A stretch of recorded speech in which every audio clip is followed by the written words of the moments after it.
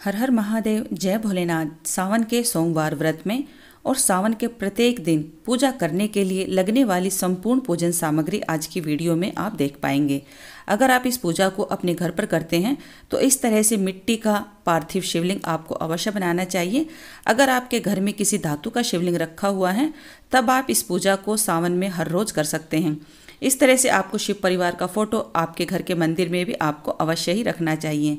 भोलेनाथ की पूजा के लिए सर्वप्रिय चीज़ें आपको अवश्य ही उसमें शामिल करनी चाहिए, जैसे आंकड़े के फल फूल पत्तियाँ, धतूरे के फल फूल और पत्ते, दुर्वा, भाँग, समीपत्र, बेलपत्र, सफ़ेद फूल, पीले फूल, जो भी आपको मिल जाए, वो आपको शिव पूजन में अवश्य ही शामिल करना चाहिए। भोलेनाथ के प्रिय पौधे, आंकड़े, बेल वृक्ष और धतूरे, के अगर आपको फल और फूल मिलते हैं तो सर्वोत्तम।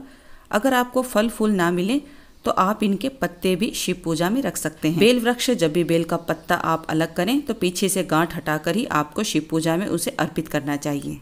ये जो लाल फूल है माता पार्वती को और गणेश जी को चढ़ाने के लिए आपको गुड़हल का फूल अवश्य ही लेना चाहिए। और सफ़ेद फूल, मोगरा का फूल है, जो भोलेनाथ को बेहद ही प्रिय हैं। बाबा भोलेनाथ की पूजा में केतकी और केवड़े के फूलों को चढ़ाना वर्जित है तो आप गलती से उन फूलों का इस्तेमाल ना करें। जो भी मौसम के अनुसार फल चले हुए हैं, वो आपको फल अवश्य ही शामिल करने चाहिए।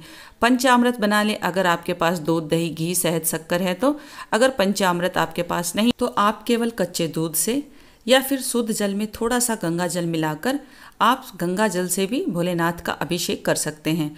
दीपक लगाने के लिए आपको अगर गौ माता का शुद्ध देसी घी मिल जाए तो सर्वोत्तम, अगर घी ना मिले तो तिल के तेल का भी आप प्रयोग कर सकते हैं। गंगा जल और शहद आपको शिव पूजा में अवश्य ही शामिल करना चाहिए।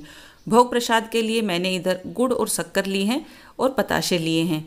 आप चाहें तो कोई भी मीठा भोग प्रसाद पंचमेवा भी आप रख सकते हैं। भोलेनाथ की पूजा करने के लिए आपको काले तिल भी अवश्य लेने चाहिए। जब भी आप शिवलिंग का अभिषेक करें तो थोड़े से काले तिल डालकर ही आपको शिवलिंग का अभिषेक करना चाहिए।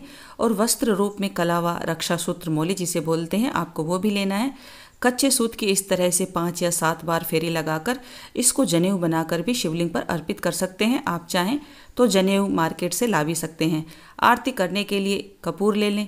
अक्षत और चने की दाल आपको शिवपिंडी पर चढ़ाने के लिए अवश्य ही लेनी चाहिए। धूप दीप प्रज्वलित करने के लिए माचिस और रोज की पूजा में एक रुपए का सिक्का आपको अवश्य ही चढ़ाना चाहिए। भोलेनाथ को भस्म बेहद प्रिय है, इसलिए आप पहले से ही तैयार करके छान कर रख लें। तिलक लगाने के लिए चंदन हल्दी, रोली, कुमकुम, ये सभी चीज़ें लेनी है, लेकिन हल्दी, रोली, कुमकुम आपको केवल गणेश जी को और माता मंगला गौरी को ही अर्पित करना है।